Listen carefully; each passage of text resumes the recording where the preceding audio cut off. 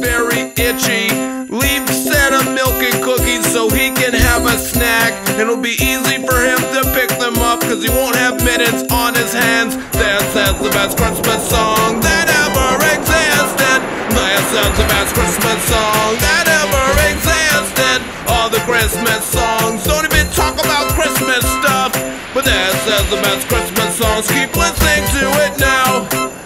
Comes in from the chimney, so don't block it with a mattress. And if you don't have a chimney, make one out of a mattress. Santa, what is the present you're gonna put in my tree this year? I hope it's not the shoes that I already have.